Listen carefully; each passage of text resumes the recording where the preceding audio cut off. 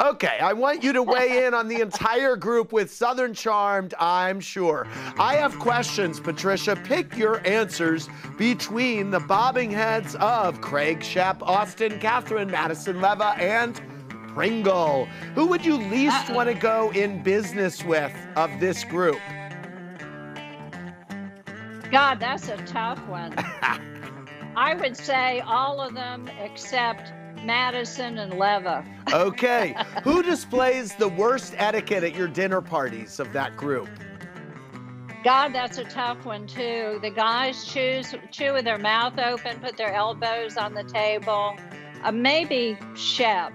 Okay. Which of the women would you most want to see with Whitney of this group? Not one.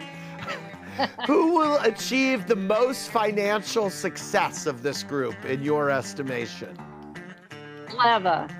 Who would you have most enjoyed quarantining with of this group? Uh, Madison. Which of these men is the best looking, would you say? Craig. And Whitney. um, who, by the way, Cheno, which of this group do you think is the best looking?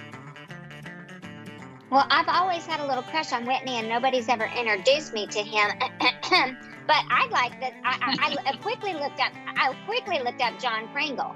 I used to have a thing for Shep, but you know, I'm very happily dating somebody now. Yes. But I mean, John Pringle's very handsome. John Pringle's got uh, major washboard abs, by the way.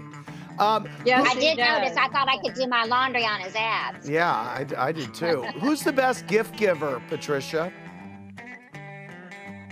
Um, well, you know, they all bring me something when they come to a dinner party. Okay. All so right. Good. They're, they're all good about that. Yeah. Very good. Okay, let's leave it there.